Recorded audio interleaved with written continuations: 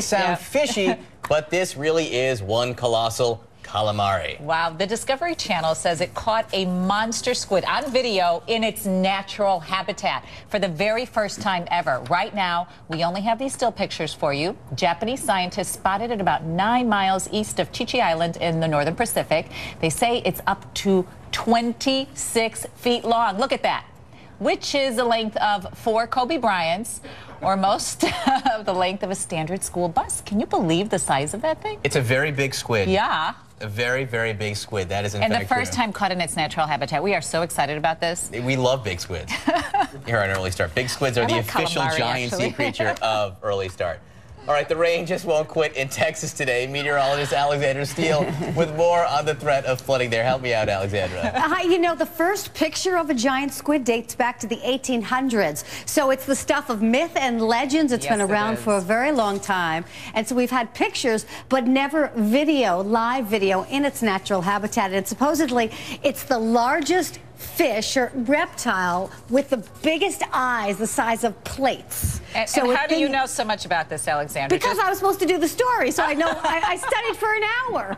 You can ask me anything. Oh, it's wonderful. tentacles, it's sucking, what its teeth do. I know everything. I've never known so much about a squid in my life. Oh, wonderful. So just share details throughout the morning. Thank you. Okay, I'll just pepper them out. All right, well, let's talk also about the weather story. Release the Kraken. Check out these amazing pictures. It is the thing of myths and legends, the giant squid, captured on film in its natural habitat for the first time ever. This is from the Discovery Channel and Japanese public broadcaster NHK. Now, this squid is believed to be up to 26 feet long and was found in the Pacific Ocean some 3,000 feet below the surface. So we want to bring in Richard Ellis. He's a research associate at the American Museum of Natural History. He is the author of The Search for the Giant Squid. All right, this thing is big, as in really big. Now, we knew that these giant squid existed before, but still, this is being seen as something special, as a breakthrough. Explain to me why. because no one's ever seen one alive before. This is absolutely the first time anyone has ever seen these things alive.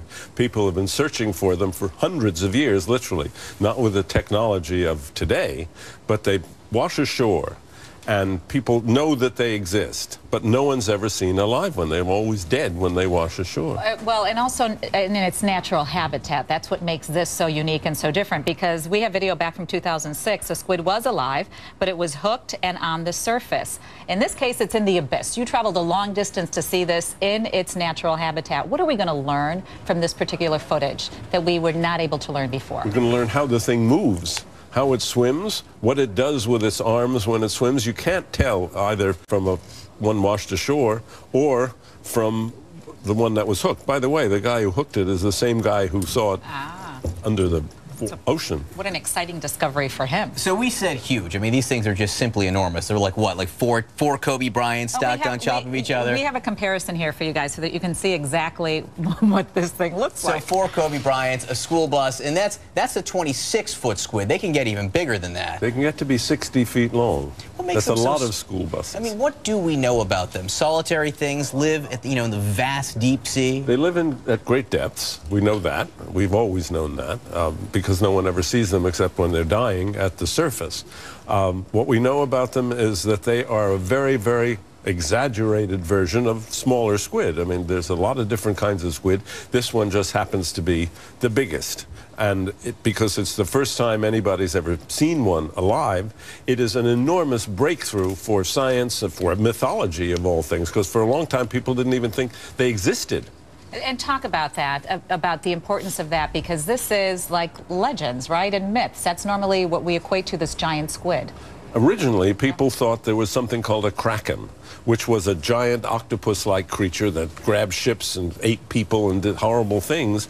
But until we actually see one alive, we're not really sure what they can do. Now we know. Now we know what this actual animal can do. We've seen it at work, we've seen it attacking something, and it changes everything. It changes everything about deep sea biology, it changes everything about what we know about these large cephalopods. We, we've seen so many of the sketches of these giant squids attacking ocean-going vessels from hundreds of years ago. Obviously, it seems like that might be a little bit far-fetched, but this thing is so big. And in, in the pictures we're seeing of this, it's missing two of its its arms or tentacles, right? It has eight arms and two very, very long tentacles, which it uses to grasp its prey. It uses the two tentacles for that. Then it wraps it up in its arms, brings it back to its mouth. It has a beak like that of a parrot, only a whole lot larger. And it takes bites out of the prey with that beak. But until we saw one alive, we never knew how this whole operation worked. You knew what, what it looked like when it was dead. It's this big blob with long arms that lives on the in the, somewhere in the ocean and then washes ashore. But this is so exciting for those of us. I wrote a whole book called The Search for the Giant Squid. In the whole book, we didn't find one. It's all about how we were looking for this animal. And now my book is a little bit obsolete, but still, it's an exciting, exciting discovery. Or Richard Ellis, you have us all excited. There's a giant squid, and now we can see video of it. Hooray! Congratulations. We're delighted that you came to share your experience with us. Thank you. Appreciate it. All right, it is 53.